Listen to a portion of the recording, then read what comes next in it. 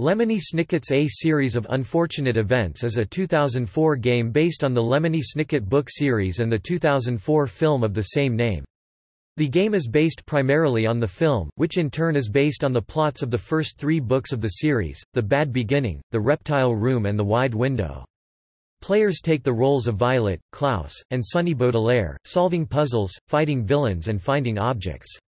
Players encounter characters such as Mr. Poe, Uncle Monty and Aunt Josephine, along with villains such as Count Olaf, the hook-handed man, the white-faced women, and the bald man with the long nose.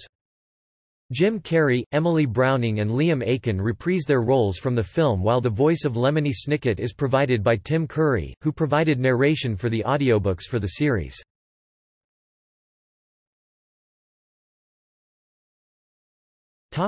Gameplay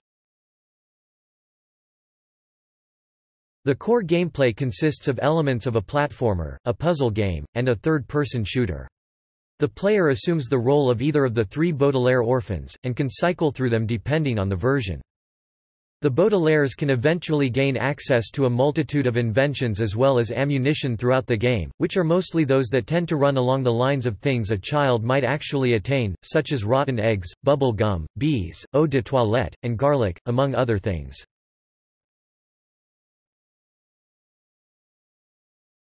Topic: Console versions. The three console versions have the same basic layout. Players can switch between playing as Violet, Klaus and, at certain moments, Sunny. The game begins at Count Olaf's house, then progresses to Justice Strauss' home, back to Olaf's, then to Uncle Monty's house, then Damocles Dock, then Aunt Josephine's house, Curdled Cave and, finally, Olaf's again. Along the way, Violet invents things, Klaus's weapon, the Brilliant Bopper, her own weapons, the Fruit Flinger, the Reptile Retriever, and the Peppermint Popper, the Baby Booster, which helps Sunny jump, the Steady Stilts, which help Violet reach high places, the Uplifting Umbrella, which helps Violet glide across gaps, the Horrifying Hook, which Klaus uses as a grapple gun, and the Levitating Loafers, which can make Klaus levitate for a brief period of time. In the game, the heroes solve puzzles, fight Count Olaf's theater troupe, and collect puzzle pieces with the familiar eye throughout the series. If the player collects 25 of each color puzzle piece, a place is revealed in their secret folder, which in turn reveals a picture where they can find a VFD package. This package reveals a special extra in the game, such as a making of featurette.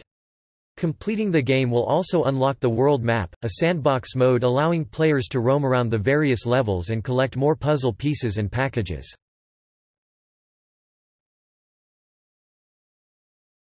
Topic: Game Boy Advance version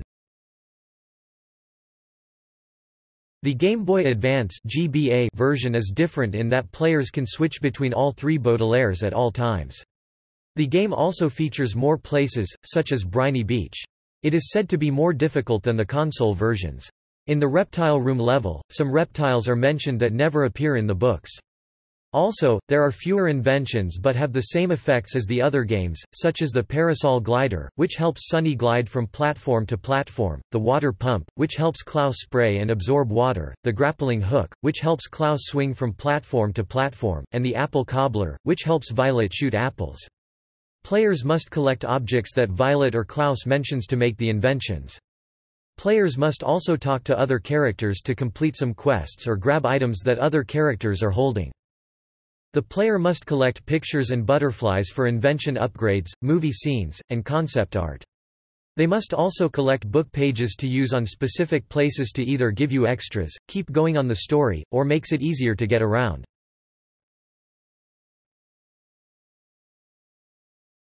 Topic: PC version The PC version has several differences from the console games. For one, players cannot switch between characters. The game keeps the player as one character, switching to another when necessary, and even separates the older Baudelaire siblings at times.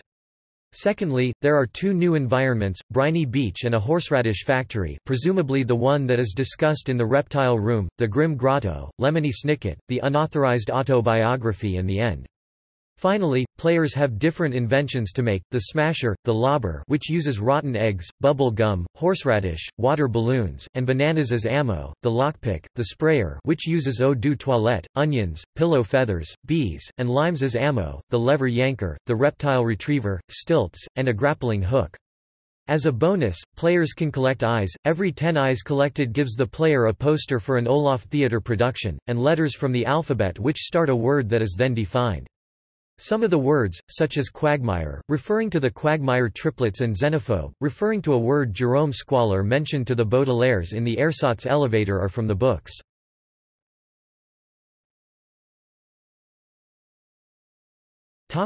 Development The teaser trailer, released five months before the game's official release, features radically different gameplay from the final game.